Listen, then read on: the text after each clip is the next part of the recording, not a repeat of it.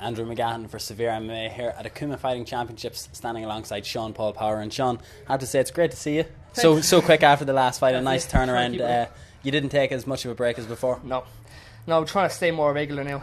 I'm fighting again at the end of this month against Jerry again, so I'm to keep on getting. I thought that fight was off. Maybe it is the first time I'm hearing about it. No.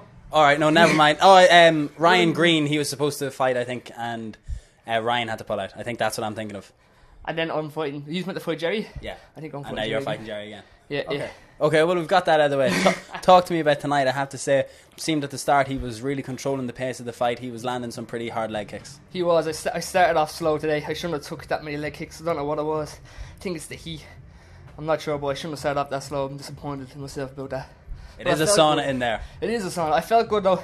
I knew I felt slow, but I knew once I got into the rhythm of things, you know, I'd be okay. Andy Ryan seemed to calm you down in the corner, talk you down. He was looking for combinations, threes and fours, as opposed to single shots.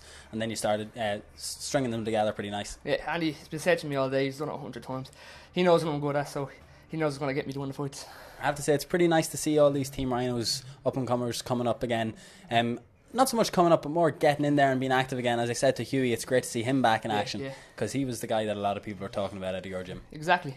I think when you're seeing lads like Neil Seery now and Reza winning in the UFC, we all know it's possible now. So we're all up there. We're watching these lads do it. So everyone's just giving it 110 percent now. Yeah, and talk to me about that Paul Redmond esque finish. Uh, he was absolutely delighted. I was standing across from him. He shouted, "Go for the knee bar!" I think before you'd even thought it, and it looked like you had lost it at one point. Tell me how you got it back. Yeah, so I was going for it, the last time me to go for it, and I kind of lost it. And I remember watching fights on Sean that he's, he's got some serious ground and pound. So I thought if I don't get this, you know, I'm gonna get my face smashed. So I just gave it 100. percent You know, he's a strong lad. He he seemed a little bit annoyed at the knee bar. It was almost like he didn't know it was legal. I'm not too sure. That's just me. But I lo- looking know. at his reaction, I seen him holding his knee up. He's all real. I'll have over there. Maybe have a drink with him. and uh, you said when are you next up? Two or three weeks? UFC Yeah, again. UFC, so is this the plan for the rest of the year? Get in again, maybe battle zone. I've been telling Andy Ryan all day two things for the last couple of months. First of all, battle zone, October 23rd, the night before UFC Dublin. What do you think? Yeah, let's do it. Good idea. Yeah. And cage tie fights on it as well. I, heard I was at cage. Oh, we were brilliant. talking about that. not Stand in the pocket and just bait heads off each other.